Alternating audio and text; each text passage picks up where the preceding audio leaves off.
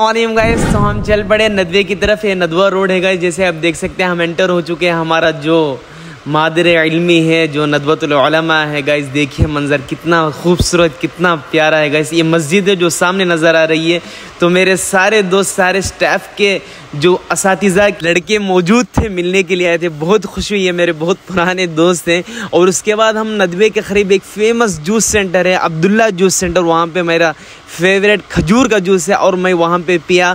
और उसके बाद एक फ़ेमस बिरयानी है, जो असलम की बिरयानी है, जो डालीगंज पर मौजूद है। उसके बाद हम सारे साथी, फराज जैदू सब मिल के रूमी गेट के तरफ़ गए थे, जो मशहूर है लखनऊ में। और वहाँ पर मुझे मास्क ख़रीदना था वहाँ पे मास्क ख़रीद लिया और आगे के देखने के लिए सब्सक्राइब करिए।